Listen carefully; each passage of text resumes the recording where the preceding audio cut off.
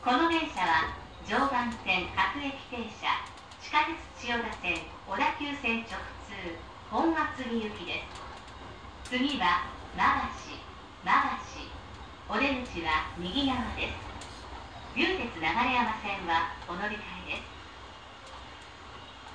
This train is bound for Hoatsugi on the Odakyu line. The next station is Mabashi. The doors on the right side will open. Please change your for the Ryutetsu Nagareyama line.